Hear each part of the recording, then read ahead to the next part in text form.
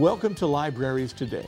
This program is intended to recognize and highlight the unexpected ways local libraries serve their communities today. I'm your host, Stan Howe. In 2018, Libraries Today took a look at how both public libraries and the WVLC serve West Virginia families. We looked back at how the Library TV network got started, visited with the Librarian of Congress, discussed genealogy with library specialists, and visited libraries in South Charleston, Clendenin, Parkersburg, Union, Morgantown, and Grafton. Let's take a look back at libraries today in 2018.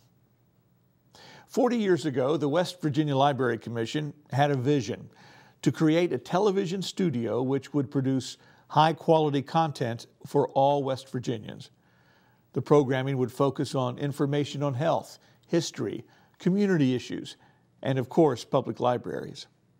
In our April episode, we celebrated the 40th anniversary of the Library Television Network.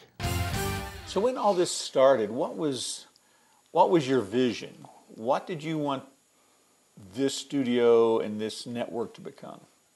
Fred's vision, and I shared the vision, was that there's a lot to know. And television was the emerging technology to make that happen. Well, it had to be a little unusual to have a TV studio in a library setting. Well, I think that was um, a natural extension of the information delivery that libraries are responsible for. We are a repository for knowledge, like like Alexandria's library, um, and in order to be able to distribute that knowledge or that information out to the to the public, television was a perfect vehicle. We decided uh, the main thrust was information, and uh, our programming was always had to have a theme of informing the patron viewer. How many hours did you have to fill? Gosh, I think we, days? we we were on seven hours the first month or two. Programming hours kept increasing over the years. Yeah, was, uh, the popularity of the programming was what was amazing. Uh, we started out with a couple hours on Capital Cable in the afternoon, like three to five. It started catching on. You know, local cable companies started picking up. St. Albans picked it up. Logan picks them up. Williamson picks them up. Um, Parkersburg started expanding the, the broadcast day. Then Capital came back and gave us three hours, and then it changed to 12 hours a day. So it just expanded and on and on and on. Now I think they're distributed to cable companies all over the state. It's a uh, big footprint these days. why don't you explain what the programming is like today? Well, the programming now is uh, uh, it's still agency based. Uh, we, we try to try to maintain that as much as possible, but we also deal with local organizations as well. We have volunteers that come in and host shows, and they have to stay within that public information or educational uh, niche that, uh, that, that, that kind of like what Dave and them started. Uh, we've just expanded it just out of just a little bit more. How many hours do you fill now? We fill about 72 hours a week. When you look back at your days here in the studio, what are your best memories? Oh, it was we were just crazy people. We had we, we had a motto: if it isn't fun, don't do it. When we needed to be serious, we were very serious. Um, I think there was a lot of production talent around. Um, we weren't afraid to fail. Uh, we just wanted to do the best we could with what we had, and it was a great time. Well, it's a lot of fun. You know, where else can you can you get a job that something you like to do and get paid for it? That's pretty neat. And I got to meet a lot of cool people, and and I realized that other people who come in and volunteer, they don't get paid for it. Uh, a lot of the hosts and volunteers that came in over the years, um, some of them still come in even to this day. I think of um, Sharon King; she still does a lot of programming. Um, Randy Dameron, Randy's been here for years and years and years. Um, Dr. Rashid, still doing a show after probably 25 years. I, I have to go back and check the dates. But those guys don't get paid to do it, and, and evidently they love it, or they wouldn't be wouldn't be volunteering their time to do to do that. And I think they don't get enough appreciation. So thanks, guys, for toughing it out all those years. The people that I ran into, the people that I was blessed to work with, the creative people that came into mine, and we would sit down, and I would always sit down with them in a production meeting and say, What if we could do this? That was always my mantra. What if? And they would say, Well, Dave, we could do this, this, this. So that was 20 some years worth of beautiful memories of people coming in, creative minds working and coming up with ideas about programming, about ideas and how to's and so on and so forth. If I had one person that comes to mind that really set this apart and that really, really saved the Library Commission channel would be Sharon King. Sharon King went above and beyond uh, helping the Library Commission with developing programmings uh, and with developing the structure and the stability of this, this service of the library. Mark, in addition to regular programming that Dave and you have talked about, you also do, the studio also handles special programming uh, for the governor, for the First Lady. Uh, can you talk a little bit about some of the special programming you do? Yes, um, as you mentioned with the governor's office, uh, we're, we're at his beck and call. If he needs us to go and shoot a uh, press conference or uh, shoot a, an event that he's at, we will go and shoot a, an event and, uh, and, and put that together for them in any format that they want that in. We also do special productions for the agencies, for the organizations come to us and they want a video produced for either the web, for use to pass around or hand out in, in, a, in, a, in a hard format and uh, we can produce those as well, either here in the studio or out on location, uh, and give that to them in, in, several different media forms. What is your vision for the future for the Library Commission Network?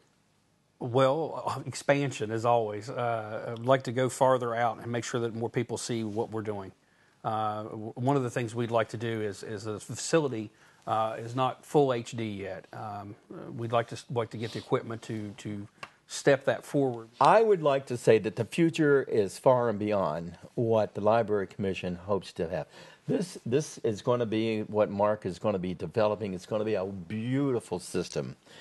If I ever could say anything great about Mark and extending this and carrying this, this torch on, it would be high praises to Mark.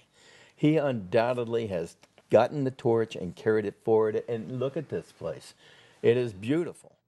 In our May episode, we had the rare opportunity to visit with the most important librarian in the country, the United States Librarian of Congress, Dr. Carla Hayden.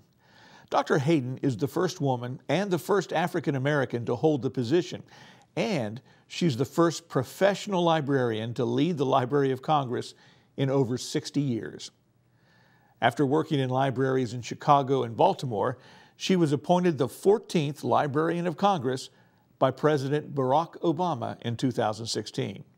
She was also president of the American Library Association from 2003 to 2004.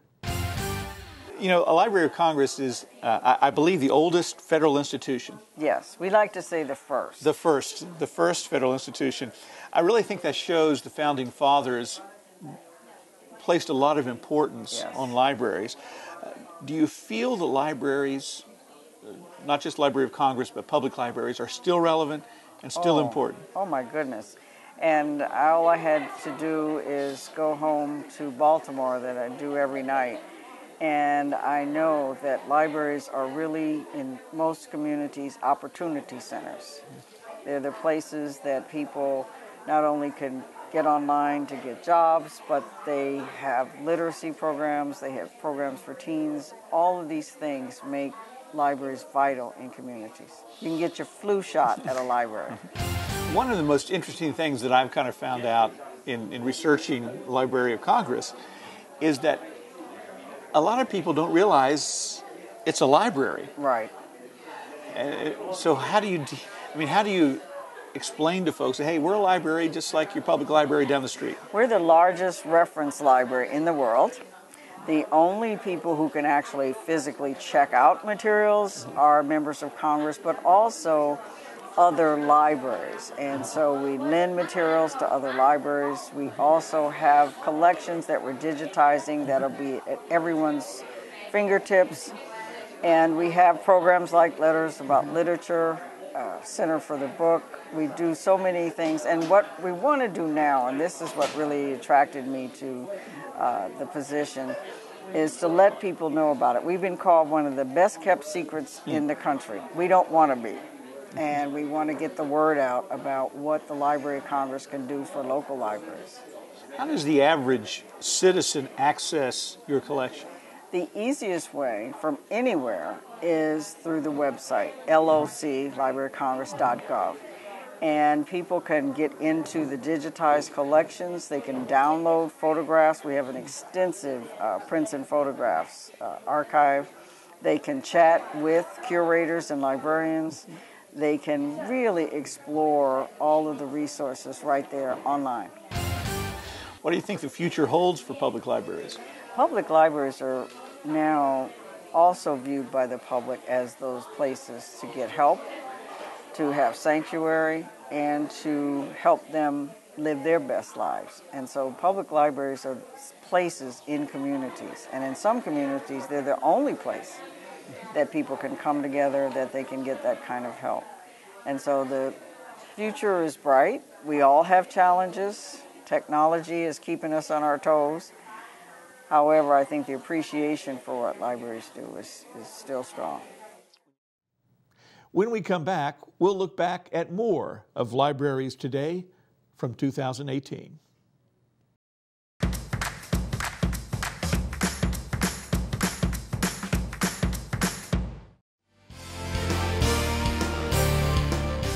We are looking back at Libraries Today in 2018. Thanks for being with us. Genealogy has captured the nation's attention, from using services like Ancestry.com to taking trips to the local cemetery. Millions of Americans have become amateur genealogists, and public libraries can play a crucial role in all of this, as we learned in August from genealogist Jim Miracle from the Parkersburg Wood County Library. I've had people come in who absolutely know nothing about genealogy and want to know how to do it. So therefore, I take them to the basic family group sheet, which is a great tool to get started. And I get them to put down what they know, because you can't find out what you don't know if you don't know, have what you know. You got to grow that tree. So you, I, especially kids, I say, go talk to your grandparents, go talk to your dad, your mom. And it's unfortunate nowadays. There's a lot of kids who I don't think they really know who their mom or their dad is. And that's going to be a problem for genealogy one of these days. But with the advent of DNA, that can solve some of those problems. You can check the D, D, DNA record and match some of that stuff up. So there are ways to get get around those supposed brick walls that people get into. Now, if somebody has a more advanced or is into this a little more, uh, we have all kinds of books. We have a section with West Virginia stuff. We have sections with uh, biographies, book style, with uh, uh biographies of different families, the Baileys, the chancellors, people are from from this area, plus families that are from Virginia, different parts of the country. We have county records from every county in, in, in West Virginia and a lot of counties from Virginia, Ohio, stuff that's, that's relevant to our area. Those that we don't have, we have Ancestry. It's free for, it's one of the things we offer free to our pay, patrons. We also have Heritage Quest, which you can, uh, you can use here, and you can also get from home with your library card. What advice do you have for other libraries who are interested in stepping up their, their game? Well, one of the goals with the genealogy section here is that I uh, would like to be a resource for any of the smaller libraries who don't have the resources or need help to set up those things. And uh, I'd be glad to do that. Uh, big thing is collect, get in contact with your local uh, historical societies. They're a treasure. They can help you get stuff. You need the network, network, network. So get in contact with them. If you want to start set, setting up a local library, put it in the press that you're wanting to set up a local history section, and you'll be surprised stuff people start bringing in. Uh, people find stuff in their houses all the time, or somebody dies and they don't know what to do with their local history. Remember your history. You know, if you forget your his, history, we're doomed to fail. And I think sometimes we forget that. And if it wasn't for those ancestors, we wouldn't be here today. One of the most important programs that public libraries offer are summer reading programs. Research indicates that students who don't read over the summer school break suffer from learning loss, putting them at a distinct disadvantage when school starts back up in the fall. And children living in poverty are even more likely to lose reading and comprehension skills over the summer than children from more advantaged backgrounds. One library that takes its role in summer learning very seriously is the South Charleston Public Library, who we visited last June, spending some time with Youth Services librarian Denise Norris. Who takes part in the program? Our program is for all ages. Our youth services program serves kids from birth to 18. So we have programs specifically geared towards early childhood education. We have our preschool program, school age, which is basically 5 years old to 12 years old, and then our teens who run from age 13 to 18. We also are unique that we have an adult program as well. So everybody in the family can come and have some fun with us this summer. Well, it sounds like it's a lot of hard work to put all this together. What goes into it? a lot of hard work, it does indeed. Um, but we want to make it as fun as we possibly can for the young people. So we're very fortunate to have a strong team here at South Charleston Public Library, and we are, are all very committed to readers of all ages. Mm-hmm. So we do a lot of outreach in the community and different things to bring people in and get things lined up. So today's our big exciting start, and we're ready to have people come in and start having some fun. As a youth services librarian, what is your biggest challenge? The biggest challenge is, I would uh, say, probably finding the absolute perfect book for every young person. Mm-hmm. Um, but I think that's half the fun of the position to really work with them and get to know them a little bit and be able to find some recommendations that if they really liked Harry Potter, what might they else like to read, um, and being able to order all those. So that's a bit of a challenge because the media changes and pricing has increased over the mm-hmm. years. So resources from time to time, but we're very fortunate here to have community support. So. What advice do you have for other libraries and their summer programs? Um, go into it both feet first. Um, don't be hesitant to go out and call on your community to join in the fun as well, and just invite the kids to come spend some time in the library, and they'll have a good time. What's the number one item on your wish list?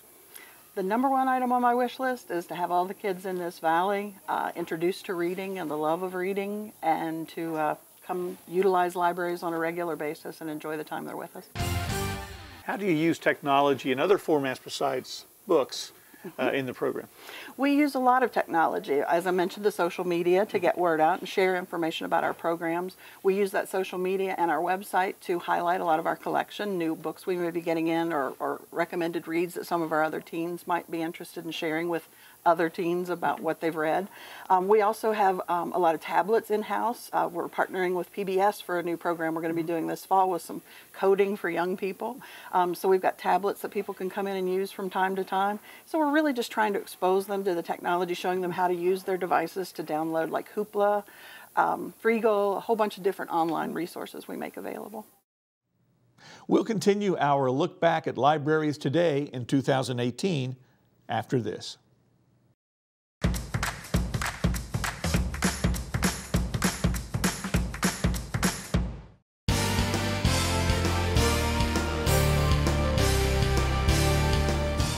Welcome back to our look back at 2018 on Libraries Today. The first library in Morgantown was established in 1926 by the Morgantown Women's Club. It spent nearly 40 years in the city's municipal building before moving to its current facility in 1964. And branch libraries in Blacksville, Arnettsville, the Cheat area, and the Clinton district were eventually founded. Today, the Morgantown Public Library system serves over 100,000 residents. In November, we paid a visit to the Morgantown Public Library and its director, Sarah Palfrey. Morgantown is definitely a college town um, with all the good and bad that comes with that, and, and it really is. Uh, I mean, you can you can see it as a glass glass half full or glass half empty. I love it. Uh, it's vibrant. Um, there's always something going on.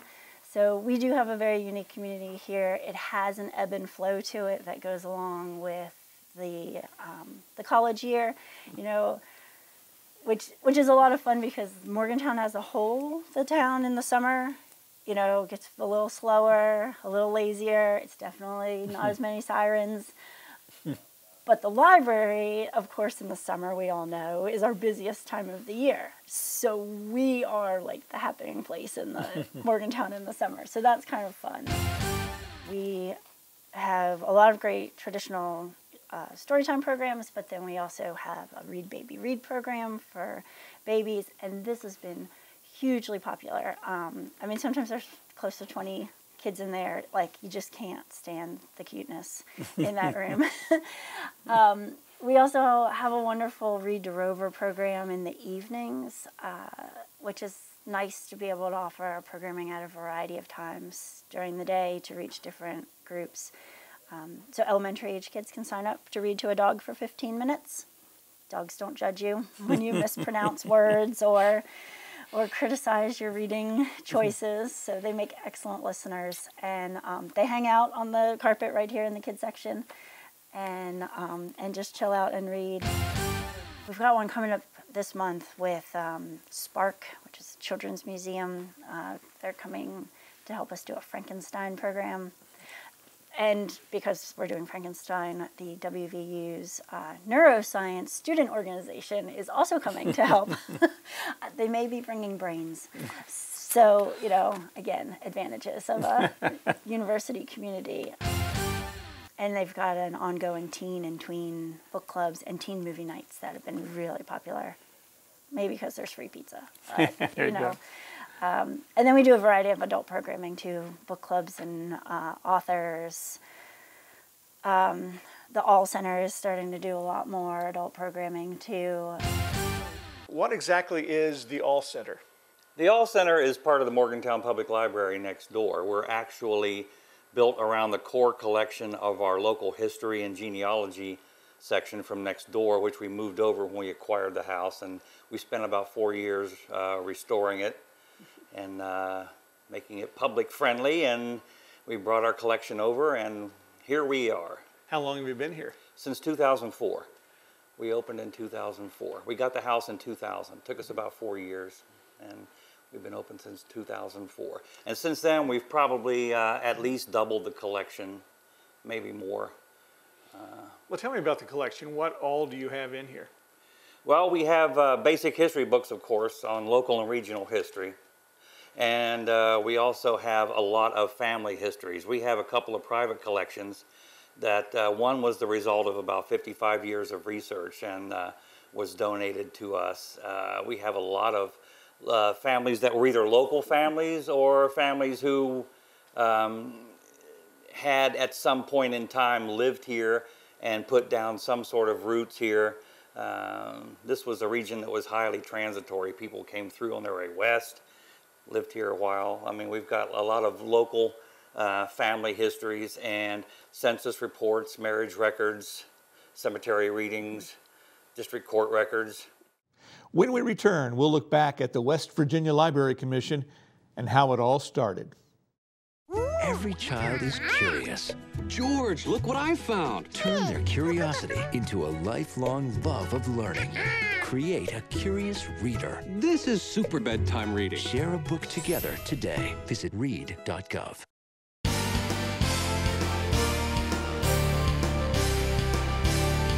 For nearly 90 years, the West Virginia Library Commission has assisted, advised, and counseled public libraries in developing a culture that values reading, education, and freedom of access to information. Created by the state legislature in 1929 and originally located in Morgantown, the WVLC eventually moved to Charleston and finally found a permanent home in the State Culture Center in 1976. In December, we look back at its history and the impact it's had on West Virginia public libraries. Well, very early, Gordon Bennett was our first uh, secretary. He was based out of Morgantown. And uh, he did not last very long. In about a year or so, he left. Then Claire Johnson was our second executive secretary of the Library Commission, serving essentially as the state librarian, and she only lasted a few years. But then Dora Ruth Parks was appointed as the uh, executive secretary, and Dora Ruth Parks lasted many, many years, and she helped shepherd some of the federal money and lay the groundwork for many of the programs that Fred Glazer took on, and he was the great builder of many of the libraries in the state.